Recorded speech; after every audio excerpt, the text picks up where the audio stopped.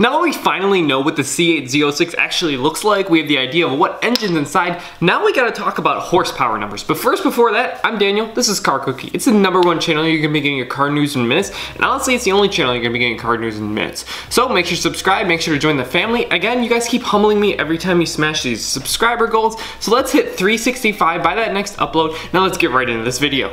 And before we start this video, I do wanna give credit where credit's due for this video. I do wanna thank Don Sherman and Horsepower Obsessed for the information on this as we finally have some concrete evidence on these horsepower numbers. So thank you so much to you know to that YouTube channel and that information as well. But now let's get right into the additions of the C8 Corvette and also more specifically the Z06 as we'll be talking about the additions in different episodes. So right off the bat we can see a few issues with the claims. Now this was updated down the road as we can see they're talking about a Grand Sport and we know there's going to be an E-Ray but we're talking about that Z06 in this video. The, E-Ray is going to be next. So with that Z06 you can see now that we should be expecting it to be closer to 675 horsepower, and it's gonna also be paired with 525 pound-feet of torque. Now we can really think that naturally aspirated flat plane crank engine in it for those torque numbers and that horsepower, you know, no, I really don't see how those torque numbers really could have been 600, for example, if unless it was like turbocharged or something like that, due to it being a naturally aspirated engine. With that update as well, you can see it's gonna also be 25 horsepower more than the previous Z06 in the C7 generation.